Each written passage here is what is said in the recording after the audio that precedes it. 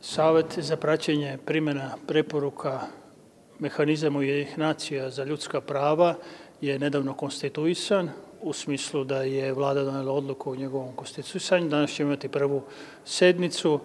Naša je misija i više nego jasna. Pratimo na koji način koje ministarstvo reaguje na preporuke kada je u pitanju područje ljudskih prava u svoj, njegovoj složenosti.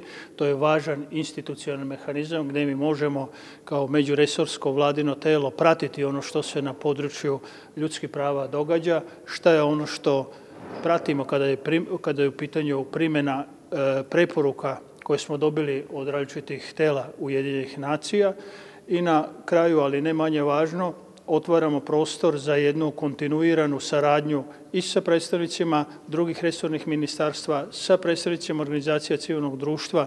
Ovoga puta uključili smo i predstavnike e, Privredne komore Republike Srbije, stalne konferencije e, gradova i opština i u stvari to predstavlja neku vrstu foruma u kojem se ozbiljno raspravlja o stanju, prilikama, izazova i merama koje su kojima je za cilj unapređenje stanja ljudskih prava u Republici Srbiji.